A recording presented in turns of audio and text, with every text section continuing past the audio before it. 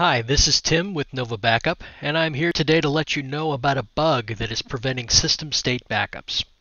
Recently, Microsoft released patches for Server 2022, 2019, and Windows 10 that are causing registry backups to fail. See a list of these patches in the description below, as well as a link to our knowledge base article on the topic. While we are working on a solution to the problem, we currently do not have a fix for this issue short of rolling the patch back or unselecting the system state in the backups. Please consider subscribing to this channel for updates to the situation as they develop. Thanks again for watching, and we'll see you again in the next video.